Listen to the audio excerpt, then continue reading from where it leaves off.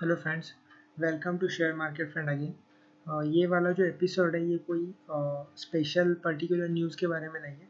तो ओवरऑल जो पूरा न्यूज़ फ्लो है, उससे रिलेटेड कुछ पॉइंट्स मैंने यहाँ पे निकाल के रखे हैं। ऐसे कुछ छोटे छोटे चेंजेस होते हैं या फिर स्मॉल स्मॉल मूवमेंट होते हैं फिनेंशियल वर्ल्ड्स में कि जो ओवरऑल बाद में जाके बड़े न्यूज़ में डेवलप होते हैं या फिर मूवमेंट में कन्वर्ट होता है। तो ये कुछ पॉइंट्स हैं उनके बारे में थोड़ा बहुत मैं मेरा ओपिनियन शेयर करूँगा या फिर मैं हाईलाइट करना चाहता था ये सब पॉइंट्स ये अलग अलग न्यूज़ फ़ीड से मैंने निकाले हुए हैं मेरे ऑब्जर्वेशन तो मैं आपके साथ शेयर कर रहा हूँ।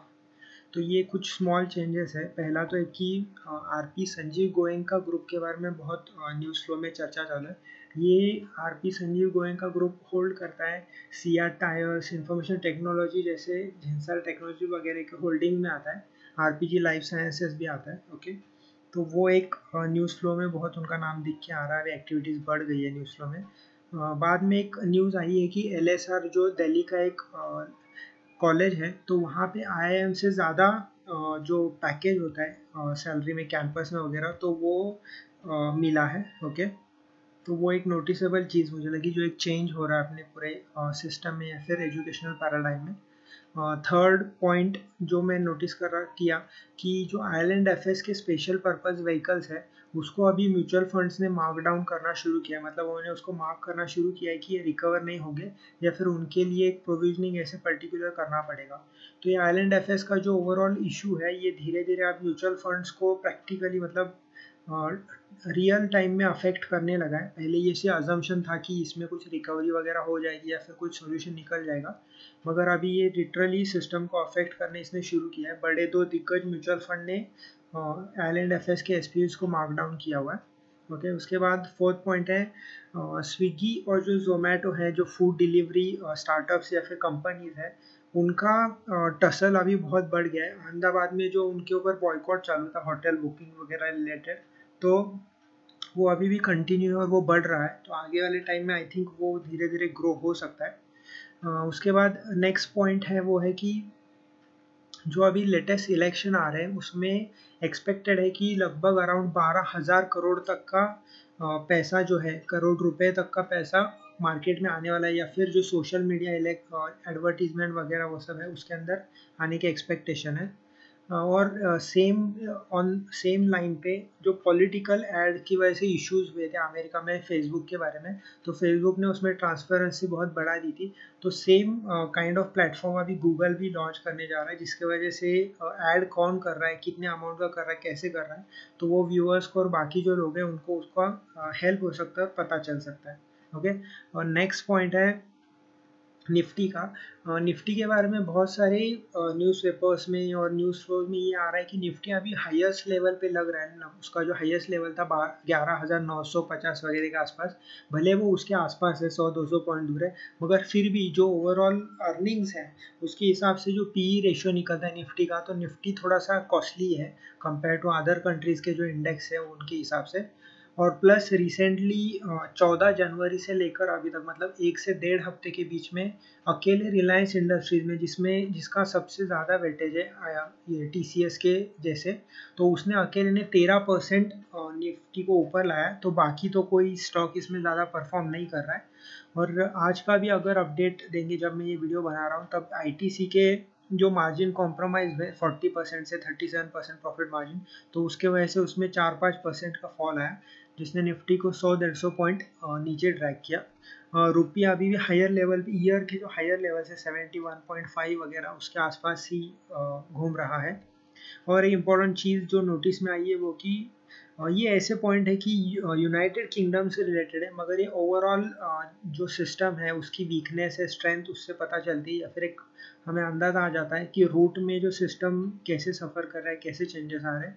तो यूके का जो जॉबलेस रेट है, वो इस साल लोवेस्ट रिकॉर्ड हुआ है। मतलब भले ये जॉबलेस का रेट कम होना अच्छा है, मगर जब स्लो डाउन आने वाला रहता है तो ऐसे जो रेट्स होते हैं, इनके पीक रीच करते हैं। तो 44 इयर्स में यूके का जो जॉबलेस का डेटा है, वो अब तक का लोवेस्ट मतलब फोर यूनिट फोर परसेंटेज वगैरह कुछ रिकॉर्ड हुआ है रिसेंटली स्पेशली वहाँ पे ब्रेग्जिट के इशूज चल रहे तो वो भी एक कॉज ऑफ़ कंसर्न है।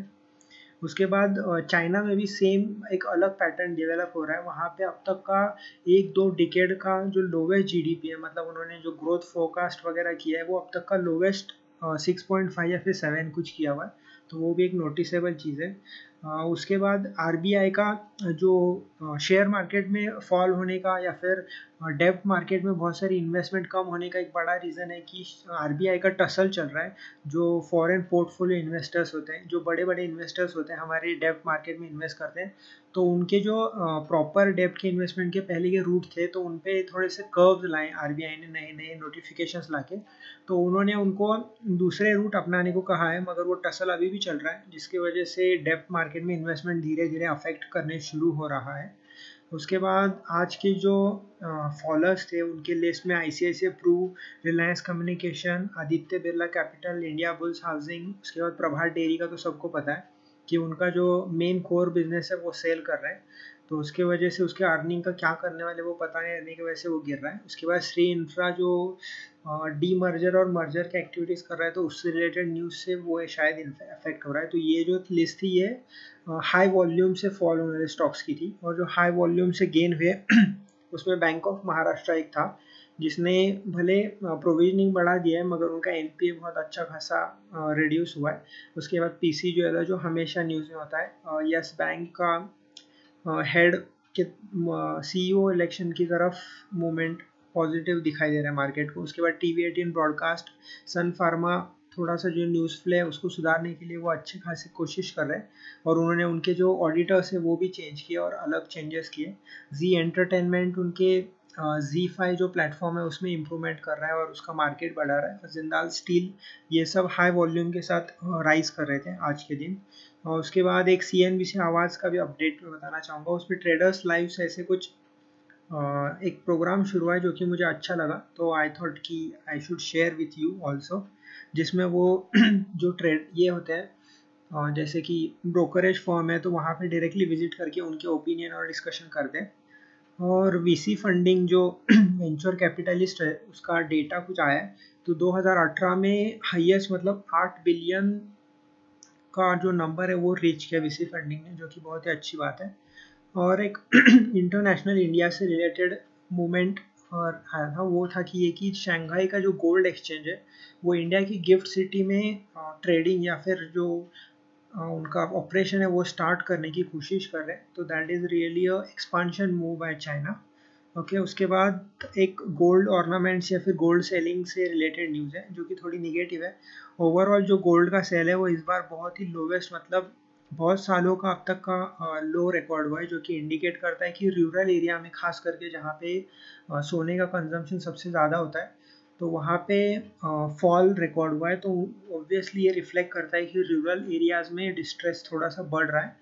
ओके तो अगर आपको ये वीडियो पसंद आया होगा या फिर आप कुछ करेक्शन चाहते हैं एक्चुअली ये मेरा फ़र्स्ट वीडियो है रिलेटेड टू न्यूज़ या फिर जो भी ऑब्जर्वेशन में फील करता हूँ ओवरऑल मार्केट में जो मूवमेंट नोटिसेबल दिख रहा है तो I hope I will improve on it और आपको भी पसंद आया होगा तो प्लीज़ लाइक पे क्लिक कीजिए।